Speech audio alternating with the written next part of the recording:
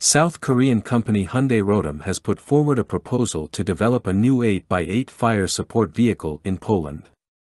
This innovative vehicle will be based on the chassis of the newly designed N-Wave, next-generation wheeled armored vehicle. A key feature of this proposed vehicle is the integration of an Italian Leonardo Hitfact 2 Malawian Kwachas turret, which can be equipped with either a 105 or 120 mm cannon, showcasing a blend of South Korean and Italian defense technology. A wheeled armored vehicle equipped with a 105 or 120 mm cannon is a significant asset in modern warfare, primarily due to its blend of firepower and mobility. The presence of wheels, as opposed to tracks, endows these vehicles with superior on-road speed and a longer operational range. This makes them particularly effective in scenarios that require rapid deployment and redeployment, allowing forces to respond quickly to evolving battlefield situations.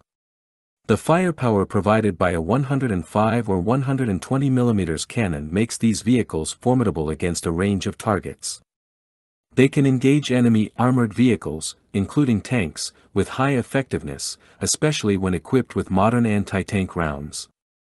Additionally, these cannons can be used for direct fire support roles, providing ground troops with heavy firepower against fortified positions or in urban combat scenarios. Another advantage of wheeled vehicles is their reduced maintenance requirements compared to tracked vehicles. This aspect translates into higher availability rates and lower logistical burdens, crucial factors in sustained military operations. Furthermore, the ability to travel significant distances without transporters enhances strategic and tactical flexibility. The development of a new generation fire support vehicle, which combines the South Korean N-Wave wheeled chassis with the Leonardo Hitfact 2 Malawian Kwachas turret, marks a significant advancement in military technology. This combination promises to deliver a vehicle that not only offers a high level of protection and mobility but also boasts the firepower of a tank. This is primarily due to its capability to be equipped with either a 105 or 120 mm cannon. The N-Wave has a gross vehicle mass of less than 35 tons and is powered by a 700 horsepower engine. This setup results in an efficient power-to-weight ratio of 20 horsepower per ton. The vehicle is equipped with double wishbone-type independent suspensions, which include spring coils and dampers for enhanced stability and maneuverability.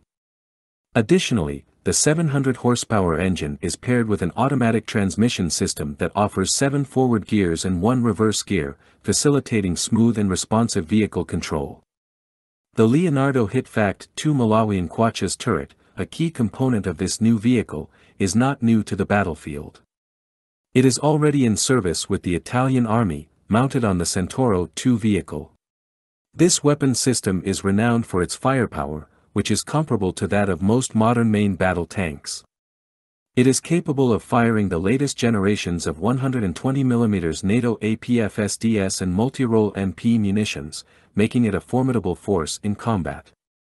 The Hitfact MKI, which is NATO qualified and currently in production, represents the latest in military technology in terms of firepower, connectivity, and survivability. As the newest model in the Hitfact family, with over 500 units already in service worldwide, the MKI distinguishes itself with its fully digital optronic sensor suite, enhanced survivability features, and electric turret drives. These advancements ensure high levels of safety and performance. One of the most notable features of the turret is its flexible design, which allows integration with either 105-52mm rifled or 120-45mm smoothbore low recoil force guns. This flexibility enables the use of any NATO standard ammunition, including the latest kinetic energy and multipurpose rounds. The turret can also be customized based on user requirements, with options for integration with command and control systems, navigation, and net-centric communications. These additions are aimed at enhancing situational awareness.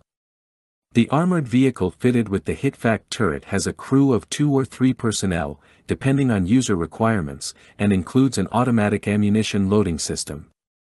The main armament options include a 120-45 mm or a 105-52 mm cannon, complemented by auxiliary armament choices such as a 1 by 7.62 mm coaxial machine gun, a remote weapon station Hitrole, and options for an external 7.62 mm or 12.7 mm machine gun.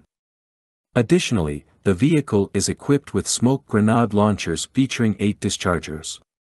In terms of ammunition, the vehicle is compatible with all standard NATO munitions as per STANAG 4385 and STANAG 4458.